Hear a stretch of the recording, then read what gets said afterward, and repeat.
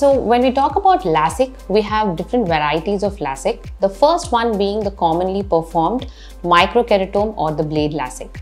So here what we do is there is an automated blade which is used to make a superficial cut in the cornea of about 20 millimeter and we raise a flap and then the laser shots are given on the cornea to correct the power and the flap is replaced back.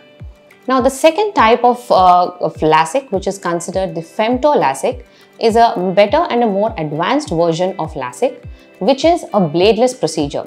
So here we do not use an automated blade. Instead, the laser itself makes a cut in the cornea superficially and again that is about a 20 millimeter cut to make a flap and the flap is raised and the laser shots are given to correct the power and the flap is replaced back.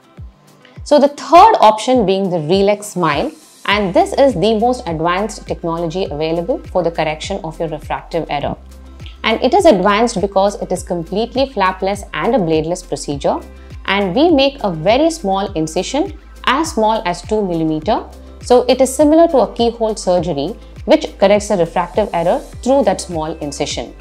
Because it is bladeless and flapless, the safety profile of RELEX Smile surgery is much better and also the results are much predictable and better.